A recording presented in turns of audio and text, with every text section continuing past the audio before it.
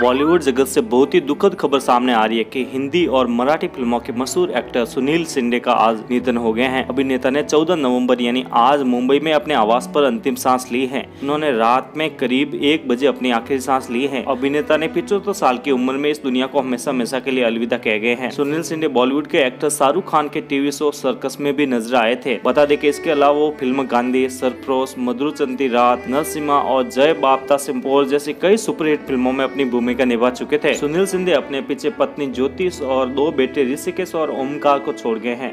उनके परिवार में बहू और पोते पोते भी हैं। आपको बता दें कि सुनील सिंधे का अंतिम संस्कार आज दोपहर पासिरवाड़ा के शमशान भूमि में हो गया। इसके निधन की खबर से फिल्मी जगत में शौक का माहौल है। वहीं उनके फैंस भी उनके निधन पर काफ़ी दुख ज़ाहिर कर रहे हैं।